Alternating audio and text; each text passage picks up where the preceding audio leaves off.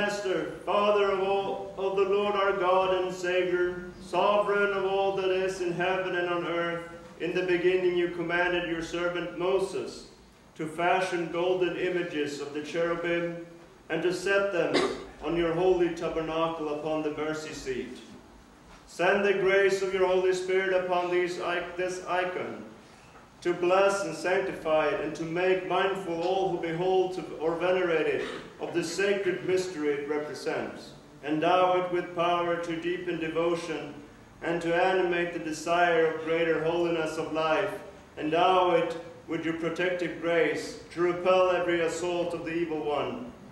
May it be a sure defense and safeguard against all harm through the grace and compassion and love of your only begotten Son, our Lord God and Savior Jesus Christ, and your all holy, good, and life-giving Spirit, now and always unto ages of ages. Amen.